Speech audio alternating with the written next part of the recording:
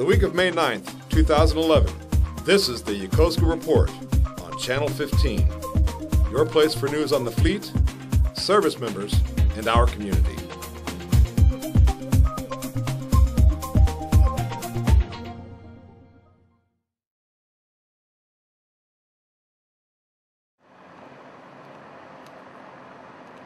After more than one year of planning, the USS Stethem DDG-63 entered into dry dock at Commander Fleet Activities Yokosuka.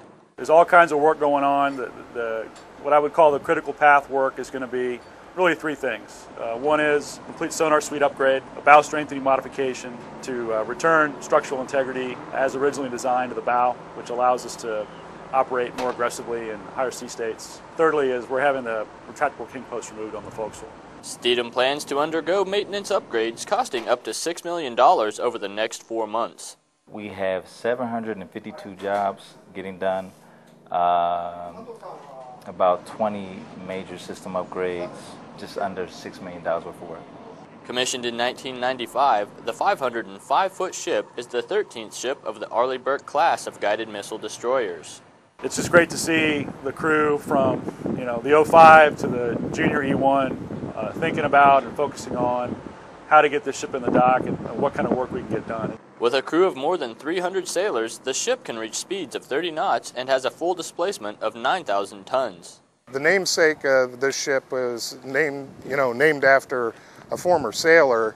The history of that is uh, there was a hijacking of a TWA flight, and the hijackers that took over that plane used him as a target and uh, he lost his life during that hijacking. USS Stethem is the first U.S. Navy warship named to honor a U.S. Naval Petty Officer, Steelworker Second Class Robert Dean Stethem.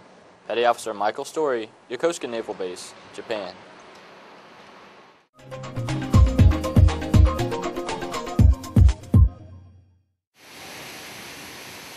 Sailors from several commands joined together in firefighting parties, getting hands-on experience fighting live fires at the Center for Naval Engineering Learning Site Yokosuka. Uh, today is our basic shipboard firefighting class. We're going to be going over hose handling procedure, um, SCBA function, and we're also going to do some basic firefighting inside our structure today. The class incorporates hands-on learning of firefighting equipment, techniques, and teamwork against live fires. LS1 Holmes explains the benefits of fighting live fires. Well, myself being a part of the damage control training team on board the ship, this is actually a lot different for the simple fact that um, instead of fighting a flag, I'm actually fighting a real fire.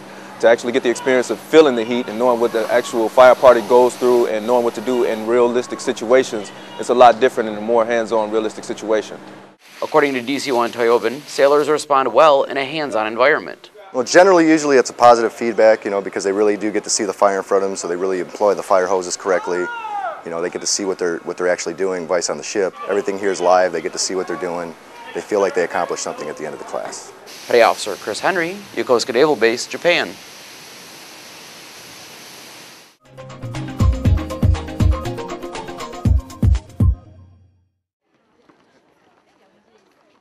When living in Japan, service members and their families are bound to experience many changes from what they are used to in the U.S from the culture to the language to the laws, some of which may be unknown to new residents.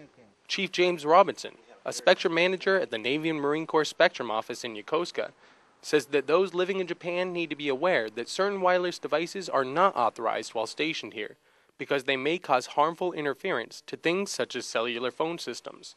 Well, for wireless devices that come from the States, they're not really authorized here in Japan because they operate on a different uh, frequency.